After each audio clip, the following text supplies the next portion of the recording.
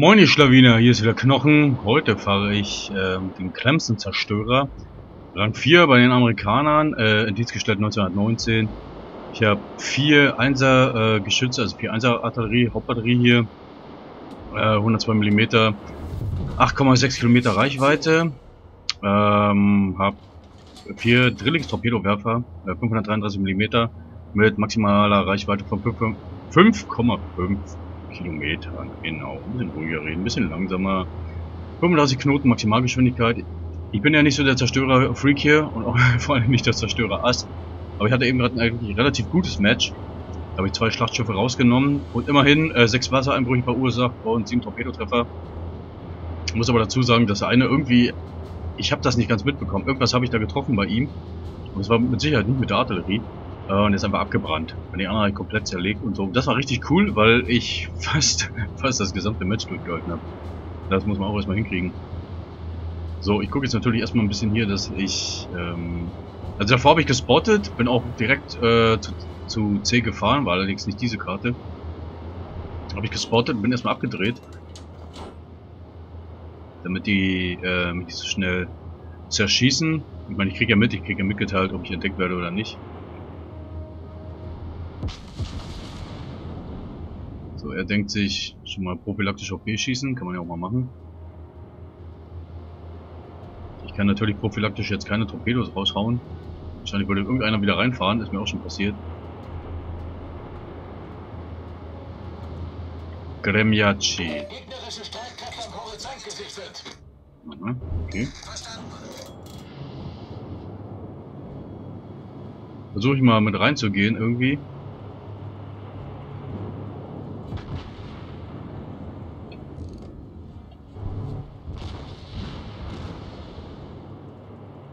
Vorsichtig zumindest. Phoenix. Gut, das hat sich erledigt. Burnick Bambi. Will wohl N, aber ist egal. Gut, dann würde ich doch sagen, ich fahre zu C rüber. Wir schießen ganz schön... Was weg jetzt? Der ist auch fast hinüber. Sieht schon mal nicht schlecht aus. Okay, es wird gecapped. Bei C wird gecapped.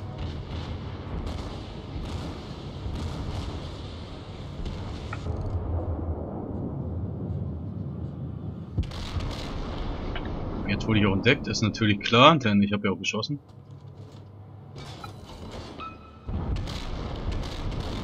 Ich benutze selten äh, die Artillerie bei Zerstörern, weil sich das nicht lohnt. Es sei denn, ich sehe, der Typ ist so gut wie hinüber. Jetzt weiß ich natürlich nicht, ist er der Einzige dort oder nicht. Das kann ich natürlich noch nicht sehen. Es sind auf jeden Fall drei gegnerische Zerstörer unterwegs. Bedeutet, hier ist noch Gefahrenpotenzial. Da ist auch schon einer. Der ist auch weg. Aber auch von dort wird geschossen und ich könnte mir vorstellen, dass das ein Zerstörer ist.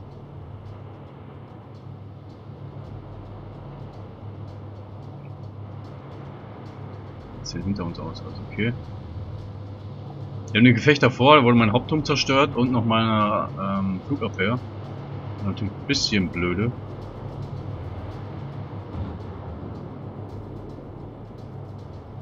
Was könnte das sein? Was könnte das sein?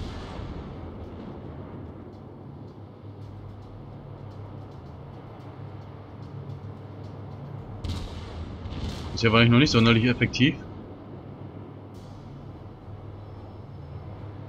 Aber gut, manchmal ist es ja so, dass die Letzten die Ersten sein werden. Ja, irgendwas ist da. Ai, da ist er.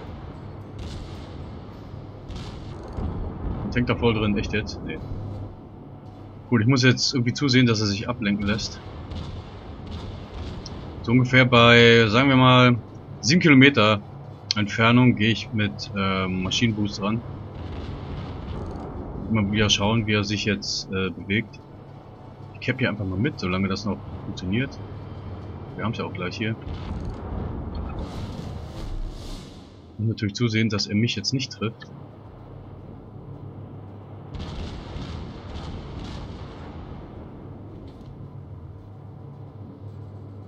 Und ich darf auch ehrlich gesagt nicht zu nah ran. Denn ich brauche noch genug Zeit zum Drehen.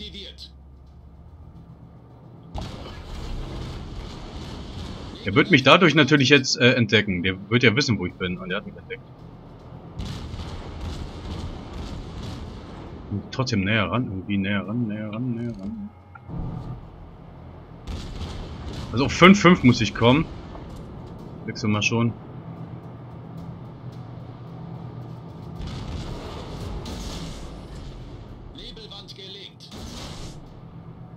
Und jetzt muss ich mich natürlich drehen.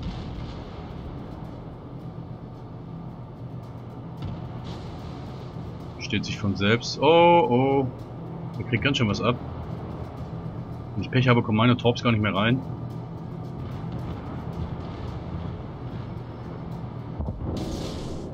Scheiße. Gut, ich knall die jetzt raus, damit gleichzeitig nachgeladen wird. Das ist scheiße. Dadurch habe ich jetzt natürlich gar nichts erreicht. Ich bin mir sicher, ich hätte ihn versenkt. Ja, so kann es kommen, ne? Ist egal, wir fahren ja eh noch eine Runde. Es sei denn, ich mache jetzt hier noch ordentlich Kills.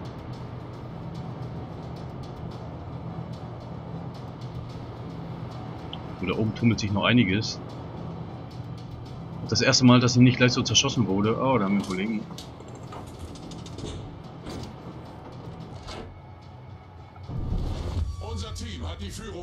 Ja, wir haben die Führung. Was haben wir jetzt auch verdient?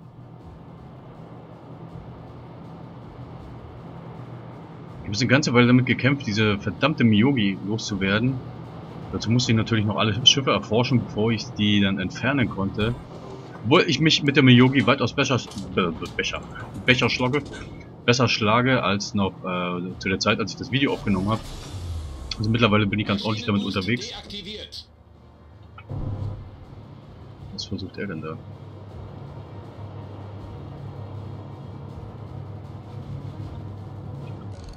Auch weg. Gut. Und ich bin jetzt häufig äh, Hosho gefahren. Das ist ja mein erster Flugzeugträger. Ich musste natürlich erstmal auf die Ketten kriegen, was man, wie das alles funktioniert. Ich habe kein Tutorial oder so gemacht. Und im Gegensatz zu Steel Ocean ist es doch ein bisschen anders, weil man bei Steel Ocean viele Sachen selber also noch machen musste. Es ist nicht so viel automatisiert. Das ist teilweise schon irgendwie dusselig, weil ähm, auch so die einzelnen Reparaturen für einzelne Sachen, ich meine, das gibt es auch auf keinem Schiff, da gibt es ja auch verschiedene äh, Mannschaften oder äh, äh, Leute, die diese und jene äh, Sachen reparieren oder warten oder was auch immer. Deswegen finde ich das schon ein bisschen übertrieben, dass man da so viel selber machen muss. Aber ist auch nur objektiv, äh, subjektiv, sage ich mal. Denn äh, ich spiele da ja auch nicht mehr so häufig. Die wurde entdeckt. Weil er mal einfach ein bisschen drauf hier. Ich muss die 102 irgendwas ausrichten.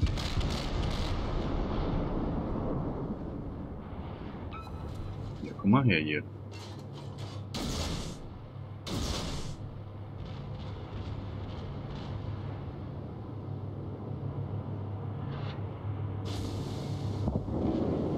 Auch schon weg. Damn it.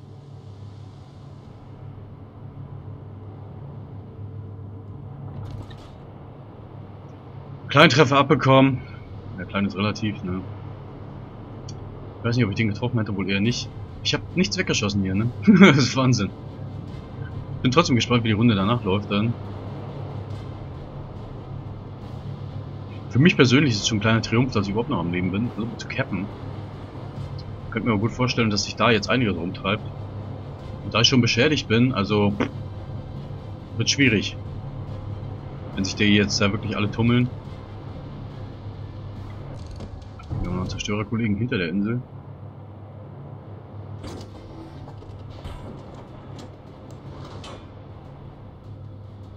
Sie Captain B. Gut. Das können sie natürlich auch.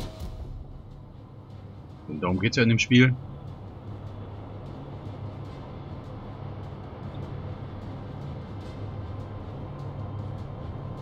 Die Frage ist, cappe ich jetzt A oder versuche ich den da auch schon weg? Ich schaffe heute nichts hier. Ich würde einfach. Oh.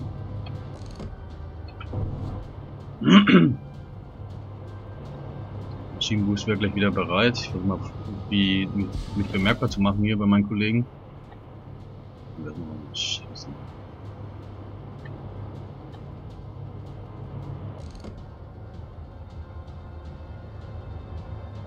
Ich meine, es ist ja wie so oft, je mehr Torpedobewaffnung, also je mehr man abschießen könnte, desto kürzer ist die Reichweite.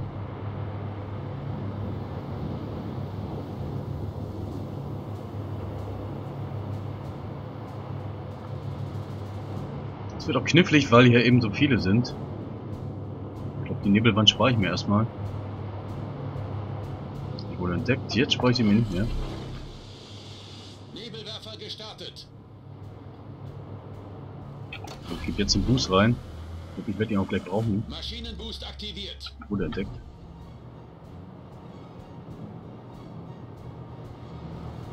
Ein bisschen in Bewegung bleiben hier. Seine Mutter.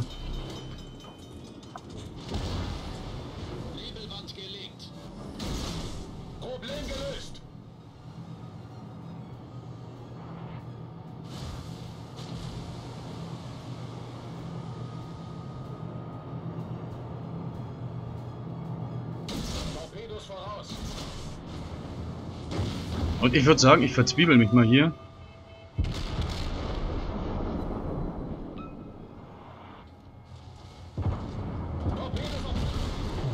Boom!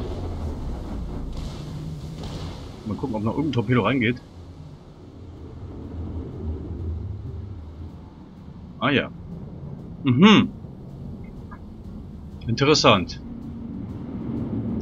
Das irritiert mich jetzt irgendwie. irgendwie irritiert mich das. Der ist jetzt zwölf Torpedos ausgewichen. Echt, zwölf Torpedos? Naja, interessante Sache. Gut, dann würde ich sagen, auf zur nächsten Runde.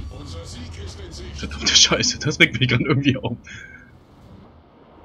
Ich würde sagen, ich fahre mal gleich rechts hier, um da ein bisschen zu spotten. Irgendwie schauen, dass ich... Hm, was mache ich am besten? Eine oder zwei Inseln erstmal kurven und dann wieder zurück. Einfach nur des Spottens willen. Willens? Willen? Um des Spottens willen. So. Okay, wir haben einen Zerstörer mehr. Natürlich super wäre, wenn ich relativ schnell den äh, Flugzeugträger aufdecken würde, herausfinden würde, wo er ist. Das wäre natürlich vorteilhaft. Okay, wir sind, alle drei sind auf dem Weg. Vielleicht sollten wir auch tatsächlich so als Rudel agieren. Ich fahre jetzt auf jeden Fall erstmal mit einem mit hier. Also ich bleibe jetzt erstmal in der Richtung hier. Ist natürlich jetzt blöd für die anderen, weil da jetzt keiner aufdeckt für die. Auf der anderen Seite.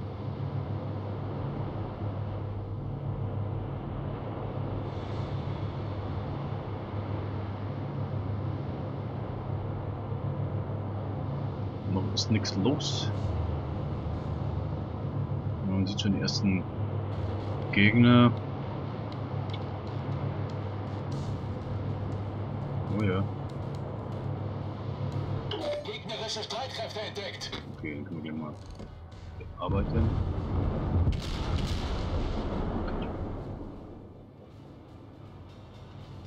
Kein Hit. Doch, einen Hit. Mein erster Treffer.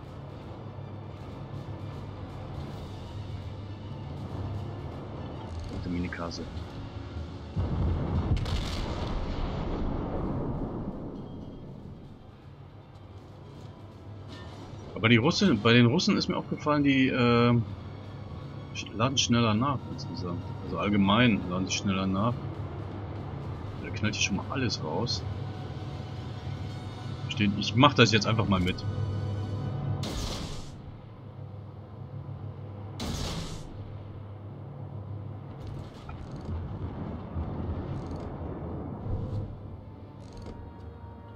Die haben wir gerade gesehen. Eben gerade noch gesehen. Alter, fahren nicht in die Dinger rein. Fahren nicht da rein.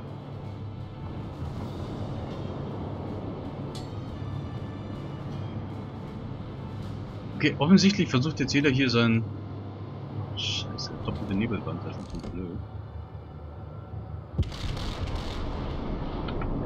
So, das ist schon ziemlich meine Maximalreichweite.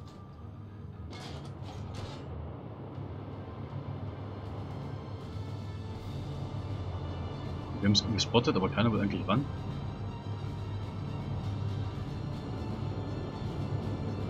Solange diese Nebelwand da ist, werde ich mich auch nicht dorthin bewegen.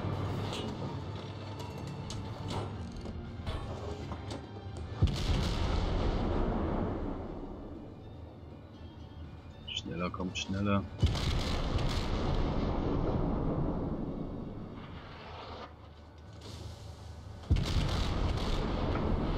Nicht drin, wupp.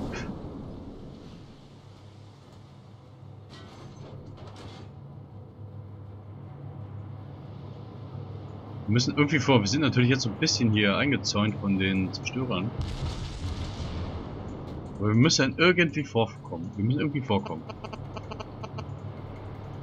Funktioniert natürlich eher nur, wenn jetzt auch mal Leute hier vorstoßen.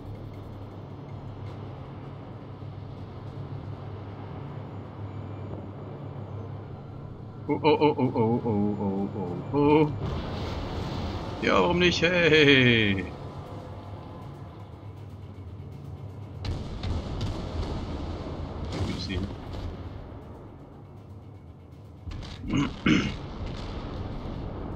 Jetzt aber schnell, jetzt aber schnell. Die Torps.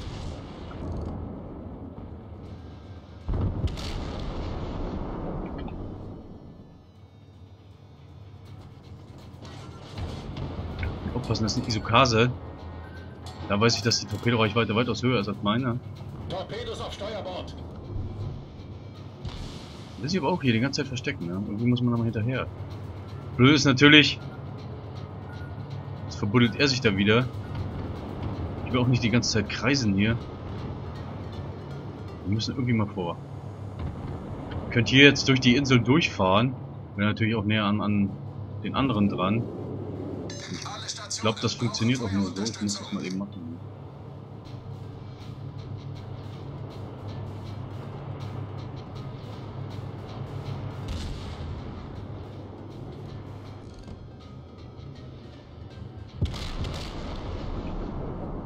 Ich meine, natürlich soll man auch gar nicht so häufig schießen, denn man will ja äh, unentdeckt bleiben, solange es geht.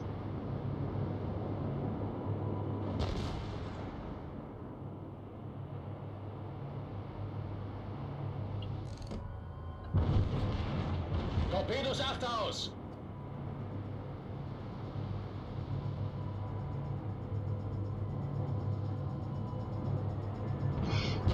Hm.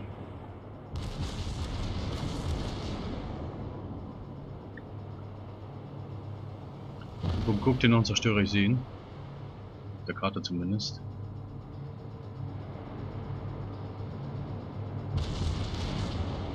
Ich selbst wurde jetzt noch nicht entdeckt, jedenfalls nicht von den Kollegen dort.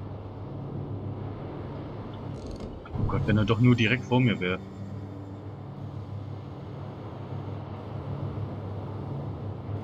So, da sind wir ein anderer Teammate. Das Blöde ist, ich kann jetzt so natürlich keine Torpedos rausknallen.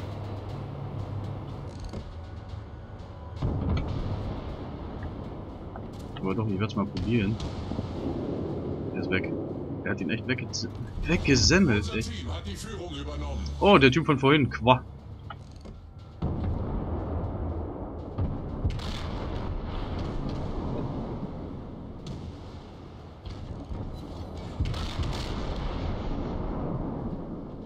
Auch weg. Schieben. Da ist man mal mutig, will mal was zeigen, bleibt am Leben, aber kriegt nichts gebacken. Aber frustrierend. so, Admiral. Hat mich entdeckt. Tschüss. Nebelwerfer gestartet. Maschinenboost aktiviert.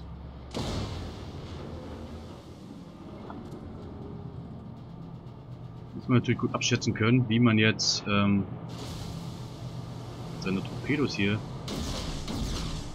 Ich mach das erstmal so. Scheiße, da wird schön bearbeitet hier. Und zurück! Oh mein Gott! Problem gelöst. Ne, das wird nichts mehr. Und ich bin gefickt! einmal unachtsam gewesen, mehr oder weniger, ne? Und man wird einfach zerlegt hier.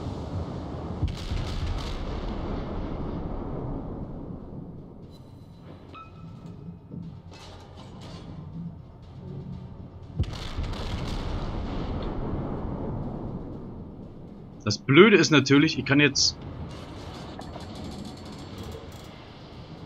Ich kann jetzt keine verdammten Torpedos mehr rausklinken hier.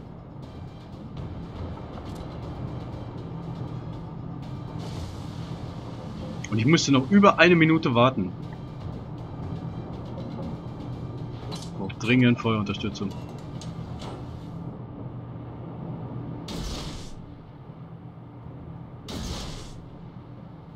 Das ist das Einzige, was mir jetzt noch bleibt. Die einen war ein bisschen zu weit vorne. Oh gut, er scheint beschäftigt zu sein.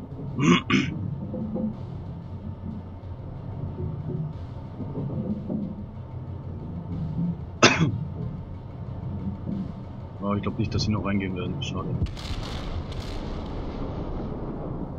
Ja, irgendwas muss man ja noch machen hier. Scheiße, die Wand dann nicht jetzt.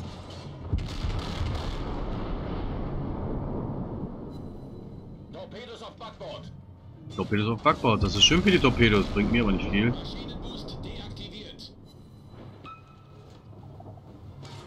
Komm, gib Gas, Jung.